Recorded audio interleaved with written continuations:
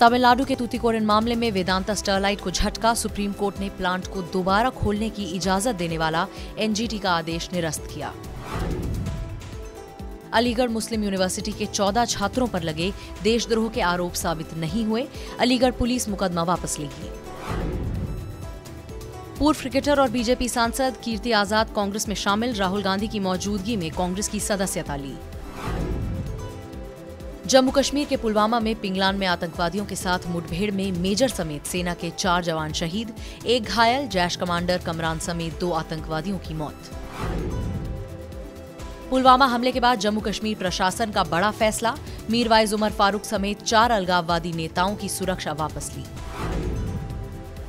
पुलवामा में हुए आतंकी हमले के विरोध में आज देश भर में व्यापारियों ने बंद बुलाया। तनाव के चलते जम्मू में लगातार चौथे दिन भी कर्फ्यू जारी। पंजाब क्रिकेट एसोसिएशन के बाद राजस्थान क्रिकेट एसोसिएशन ने भी स्टेडियम से पाकिस्तानी क्रिकेटरों की तस्वीरें हटाई। पूर्व प्रधानमंत्री मनमोहन सिंह का प्रधानमंत्री मोदी और केंद्र सरकार पर हमला, कहा जॉबलेस ग्रोथ, ग्रामीण कर्ज और अव्यवस्था से युवाओं में असंतोष। पुडुचेरी की उपराज्यपाल किरण बेदी के खिलाफ मुख्यमंत्री वी नारायण सामी के धरने का आज छठा दिन। 20 फरवरी से जेल भरो आंदोलन की चेतावनी दी।